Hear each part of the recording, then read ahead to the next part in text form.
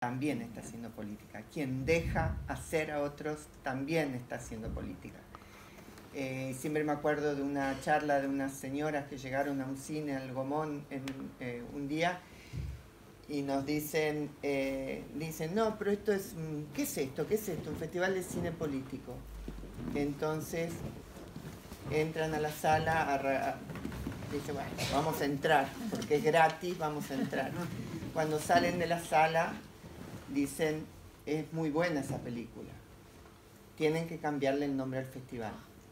Para nosotros en realidad eso es como un logro, como es un logro poder eh, tener películas como la de María, como las de otras mujeres luchadoras, como las de otros hombres luchadores, como las de otras realidades. Eh, nosotros por eso tenemos en el festival una sección también que es el FISIP temático, que en realidad todas las películas tienen un tema en particular y tenemos que saber que nosotros somos parte de todo esto y que bueno, si hay una cosa así que a través del festival se puede lograr, la podemos lograr a través de personas como, o sea, a través de lo que nos cuentan todos los realizadores.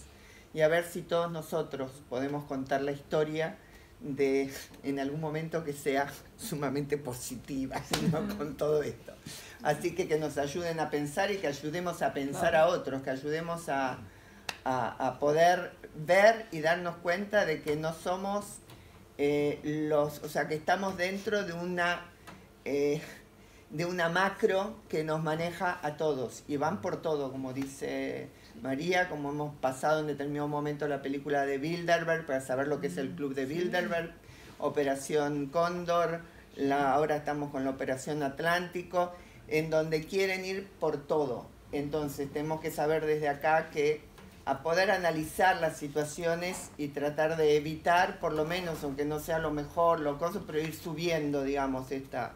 Y este año nosotros tenemos un lema que es por una democracia plena, sin mentiras, sin noticias falsas, ni guerras jurídicas. Y agregamos luego sin, sin presos políticos.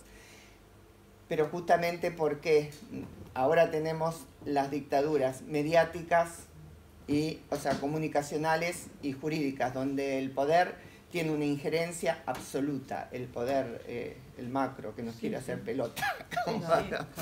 y a través del medio ambiente, a través de querer todo. Ellos quieren que en el mundo seamos 2 mil millones de personas en lugar de 6 mil. Eh, y eso, eh, pero bueno, estas películas son las que ayudan a que tomemos, que sepamos que se puede luchar y se puede ir adelante. Un detallito, esta película está a disposición de los movimientos sociales, de las personas que las quieran dar, ya se está dando por todo el país con organizaciones de solidaridad con Cuba, feministas, sindicalistas. Y bueno, si quieren anotar el correo de resumen, no sé si está en, el...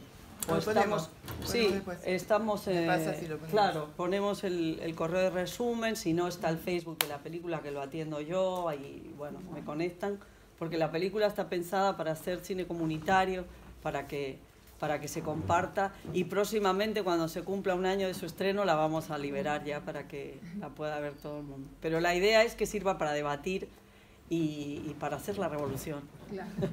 Gracias.